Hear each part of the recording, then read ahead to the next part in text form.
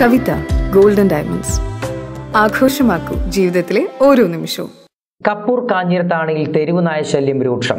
കുട്ടി ഉൾപ്പെടെ അഞ്ചു പേർക്ക് തെരുവുനായയുടെ കടിയേറ്റു. വ്യാഴാഴ്ച രാവിലെയാണ് സംഭവം. കപ്പൂർ പഞ്ചായത്തിൽ വീണ്ടും തെരുവുനായയുടെ ആക്രമണം. തെരുവുനായയുടെ ആക്രമണത്തിൽ സ്ത്രീക്കും സ്കൂളിലേക്ക് നടന്നു പോവുകയായിരുന്ന വിദ്യാർത്ഥിനിയും ഉൾപ്പെടെ അഞ്ചു പേർക്കാണ് കടിയേറ്റത്.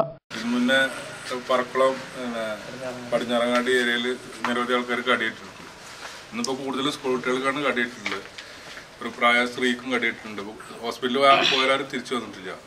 പിന്നെ ബൈക്ക് ആക്സിഡന്റ് ഉണ്ടായതിന് മുന്നിൽ ചാടിയിട്ട് അവർക്ക് പരിക്കുണ്ട്.